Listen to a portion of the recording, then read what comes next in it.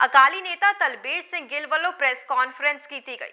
Amritsar police ਦੀ ਕਾਰਜ ਪ੍ਰਣਾਲੀ ਤੇ ਸਵਾਲ ਚੁੱਕੇ ਗਏ ਅਤੇ ਸੀਐਮ ਪੰਜਾਬ ਨੂੰ ਕੀਤੀ ਗਈ ਅਪੀਲ ਕਿ ਪੰਜਾਬ ਪੁਲਿਸ ਦੀ ਧੱਕੇਸ਼ਾਹੀ ਤੇ ਲਗਾਮ ਕੱਸਣ ਅਤੇ ਉਹ ਪੰਜਾਬ ਦੇ ਸੀਐਮ ਦੀ ਅੰਮ੍ਰਿਤਸਰ ਫੇਰੀ ਦੌਰਾਨ ਮੰਗ ਪੱਤਰ ਦੇਣਗੇ। ਉਹਨਾਂ ਕਿਹਾ ਕਿ ਪੁਲਿਸ ਧਰਨਾ ਦੇਣ ਲਈ ਮਜਬੂਰ ਨਾ ਕਰੇ, ਨਹੀਂ ਤੇ ਉਹ ਧਰਨਾ ਦੇਣ ਤੋਂ ਵੀ ਪਿੱਛੇ ਨਹੀਂ ਹਟਣਗੇ। ਕਿ ਇੱਕ ਸਾਡਾ ਛੋਟਾ ਵੀਰ ਆ ਰਣਦੀਪ ਸਿੰਘ ਰਿੰਪਲ ਉਹ ਥ੍ਰੈਟ ਪਰਸੈਪਸ਼ਨ ਬੰਦਾ ਵਾ। ਥੋੜੇ ਦਿਨ ਪਹਿਲਾਂ ਉਹਨੂੰ ਪਾਕਿਸਤਾਨ ਤੋਂ ਧਮਕੀਆਂ ਮਿਲੀਆਂ ਔਰ ਉਹਨੇ ਸਾਰੇ ਸਬੂਤ ਪ੍ਰੂਫ ਵੀਡੀਓਜ਼ ਕਮਿਸ਼ਨਰ ਸਾਹਿਬ ਤੱਕ ਪਹੁੰਚਾਈਆਂ। ਔਰ ਪੁਲਿਸ ਨੇ ਐਫ ਆਈ ਆਰ ਵੀ ਦਰਜ ਕੀਤੀ, ਉਸ ਦੇ ਨਾਲ ਨਾਲ ਉਹਨੂੰ ਬਹੁਤ ਸਾਡੇ ਬਾਰ-ਬਾਰ ਕਹਿਣ ਦੇ ਬਾਵਜੂਦ ਕਿਉਂਕਿ ਉਹਨੂੰ ਦਿਹਾੜੀ 'ਚ ਤਿੰਨ ਤਿੰਨ ਵਾਰੀ ਥ੍ਰੈਟਸ ਆਉਂਦੀਆਂ ਸੀ ਤੂੰ ਹੁਣ ਫਲਾਨੀ ਜਗ੍ਹਾ ਤੇ ਆ, ਅਸੀਂ ਤੇਰਾ ਆ ਵੀ ਨੁਕਸਾਨ ਕਰ ਸਕਦੇ ਆ ਤੂੰ ਫਲਾਨੀ ਜਗ੍ਹਾ ਤੇ ਆ, ਤੇਰਾ ਹੁਣ ਵੀ ਅਸੀਂ ਨੁਕਸਾਨ ਕਰ ਸਕਦੇ ਹਾਂ ਕਿ ਇਦਾਂ ਉਸ ਬੰਦੇ ਨੂੰ ਧਮਕੀਆਂ ਮਿਲੀਆਂ ਉਹਨੇ ਸਾਰੇ ਪ੍ਰੂਫ ਦਿੱਤੇ ਤੇ ਫਿਰ ਪੁਲਿਸ ਨੇ ਉਹਨੂੰ ਜਿਹੜੇ ਆ ਤਿੰਨ ਗਨਮੈਨ ਦਿੱਤੇ।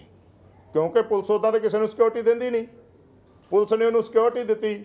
13 ਤਰੀਕ ਨੂੰ ਉਹ ਰਾਤ ਕੋਈ 8 8:30 7 8 ਵਜੇ ਦੇ ਕਰੀਬ ਆਪਣੇ ਘਰ ਦੇ ਗਿਆ ਜਦੋਂ ਔਰ ਜਦੋਂ ਉਹ ਗੱਡੀ 'ਚ ਉਤਰ ਕੇ ਆਪਦੇ ਘਰ ਚਲ ਗਿਆ ਰਣਦੀਪ ਸਿੰਘ ਰਿੰਪਲ, ਤੇ ਡੇਢ 2 ਮਿੰਟ ਬਾਅਦ ਇੱਕ ਉੱਥੇ ਸਵਿਫਟ ਕਾਰ ਦਿੱਲੀ ਨੰਬਰ ਆਉਂਦੀ ਆ, ਜਿਹਦੇ ਵਿੱਚ ਚਾਰ ਮੁੰਡੇ ਸੀਗੇ।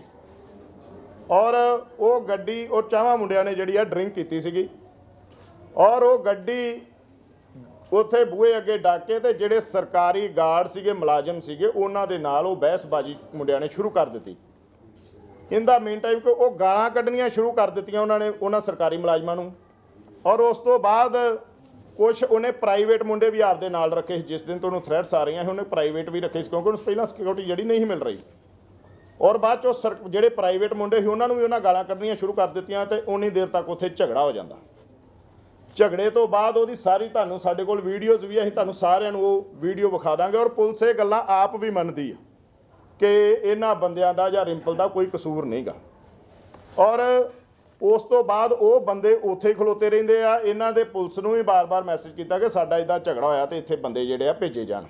ਚਲੋ ਪੁਲਿਸ ਥੋੜੀ ਲੇਟ ਹੋਈ ਹੋਗੀ ਇਹ ਨਹੀਂ ਮੈਂ ਕਹਿੰਦਾ ਕਿ ਪੁਲਿਸ ਆਈ ਨਹੀਂ ਪੁਲਿਸ ਲੇਟ ਹੋ ਗਈ। ਔਰ ਉਹ ਬੰਦੇ, ਉਹਨਾਂ ਬੰਦਿਆਂ ਨੇ ਫੋਨ ਕਰਕੇ ਆਪਦੇ 50 ਬੰਦੇ ਜਿਹੜੇ ਆ, ਉਹ ਬੁਲਾ ਲੈਂਦੇ ਆ। ਔਰ 50 ਬੰਦੇ ਆ ਕੇ ਉਹਨਾਂ ਦੇ ਘਰ ਦੇ ਉੱਤੇ ਹਮਲਾ ਕਰ ਦਿੰਦੇ ਆ, ਪੱਥਰਾਂ ਦੇ ਨਾਲ, ਇੱਟਰ ਵੱਟਿਆਂ ਦੇ ਨਾਲ। ਔਰ ਇਹਨਾਂ ਵੱਲੋਂ ਕੋ ਹਵਾਈ ਫਾਇਰ ਕੀਤੇ ਜਾਂਦੇ ਆ ਔਰ ਉਹ ਪਛਾਣ ਹਟਦੇ ਆ, ਫਿਰ 5 ਮਿੰਟ ਬਾਅਦ ਆ ਜਾਂਦੇ ਆ। ਪੁਲਿਸ ਨੂੰ ਜਿਹੜਾ ਵਾ, ਉਹ ਆਪਦੀ ਡਿਊਟੀ ਆ ਤਨਦੇਹੀ ਨਾਲ ਨਿਭਾਉਣੀ ਪਊਗੀ ਔਰ ਪੁਲਿਸ ਗੱਲ ਕੁਛ ਕਰਦੀ ਆ, ਰਿਜ਼ਲਟ ਕੋਈ ਦਿੰਦੀ ਆ। ਔਰ ਮੈਂ ਸਵੇਰੇ, ਅਸੀਂ ਫੈਸਲਾ ਕੀਤਾ ਕਿ ਸਵੇਰੇ ਭਗਵੰਤ ਸਿੰਘ ਮਾਨ ਜੀ ਜਿਹੜੇ ਉਹ ਆ ਰਹੇ ਨੇ ਇੱਥੇ ਅੰਮ੍ਰਿਤਸਰ, ਅਸੀਂ ਉਹਨਾਂ ਨੂੰ ਇੱਕ ਸਾਰਾ ਹੀ, ਇਹ ਤਾਂ ਜੇ ਕੁਝ ਗੱਲਾਂ ਵਾ ਲਿਮਟਡ ਜੀਆਂ, ਬਹੁਤ ਕੁਝ ਜਿਹੜਾ ਮੈਂ ਬਰੀਕੀ ਦੇ ਨਾਲ ਅਸੀਂ ਸਾਡੀ ਅਸੀਂ ਐਪਲੀਕੇਸ਼ਨ ਕੇ ਟਾਈਪ ਕਰਾਈ ਆ ਔਰ ਇਹ ਸਾਰਾ ਮੈਮੋਰੈਂਡਮ ਭਗਵੰਤ ਸਿੰਘ ਮਾਨ ਜੀ ਨੂੰ ਸਵੇਰੇ ਦੇਵਾਂਗੇ।